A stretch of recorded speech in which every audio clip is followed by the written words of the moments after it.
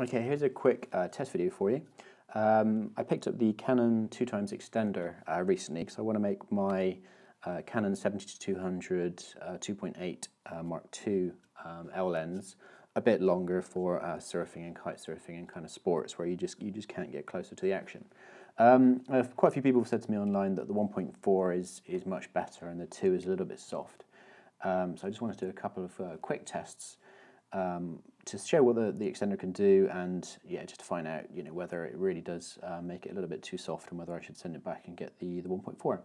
Um, so first of all, here's a, a quick look um, using the GH4 and the 7.5 millimeter um, uh, fisheye lens, just to give you an idea of uh, you know what where I'm where I'm standing for this particular shot and the, the reach that the extender and that um, 70-200 lens can give you at 200 millimeters.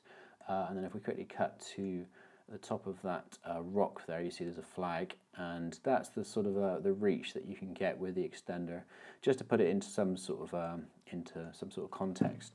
Um, so then let's straight away go into a few uh, stills that I just took out of my um, bedroom window upstairs. It's not particularly exciting, but it should give you an idea. So without the um, without the extender at 200 millimeters, um, I did a few different shots and I found that around about sort of F, f4, f5.6 is roughly the, the sort of sharpest kind of um, f-stop for that lens. Uh, and then if we compare that to our uh, with the teleconverter, um, obviously you lose a bit of light with the uh, teleconverter. So these shots were actually at the f8 is what it reads on the screen. Um, yeah, the F8 uh, photo looked about the sharpest to me out of the, um, the teleconverter photographs. So there you go, that's that side by side. So you get some idea of the magnification that you're getting, which is obviously two times.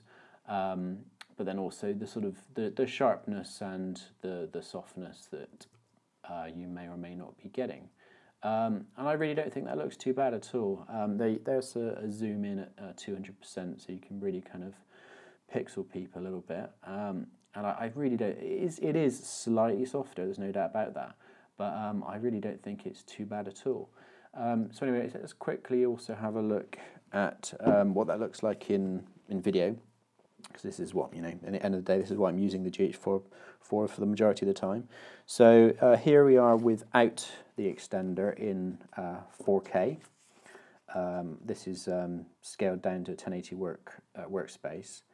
Uh, but that's that's what that looks like. And then if we then cut that to with the extender uh, in 4K, so that's what that looks like. And the other option, obviously, with the um, the GH4 is you can do a sensor crop. So if you if you are working to a 1080 work project anyway, you don't need that 4K, even though the 4K is lovely. Um, then we can also look at the um, what the sensor crop looks like and compare that to the extender, whether one's better than the other. So here we are in a 1080 um, file, and firstly we'll, we'll show you with without the without the extender, uh, and then without the extender and with the teleconverter turned on.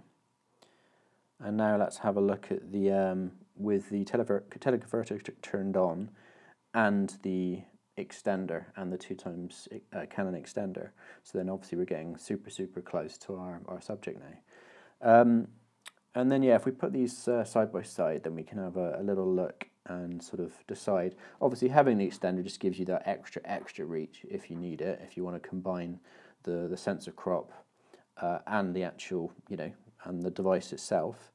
Um, but you may want to consider if you're choosing between um, uh, using the device, using the, the glass, the, the extender, or the sensor crop, uh, in low light you will be getting more noise with the um, in the sensor because um, of course uh, you know it, there's less a lot less actual um, photons hitting that tiny bit of sensor. It's already quite a small sensor in the GH4 remember so.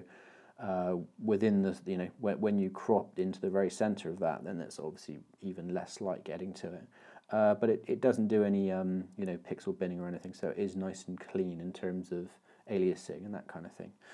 So anyway, there you go. I'll make I'll let you guys make your own conclusions, but I think it looks pretty good, and I'm going to keep hold of it. Um, I think it, it's yeah slightly softer. There's no doubt about that, but I think it's totally um, acceptable image loss, especially for for video where this you know it's not a super high high resolution um, megapixel still that we're dealing with here. So I think for a video, even 4K, I think it's still sharp enough, and I, I definitely will be using it.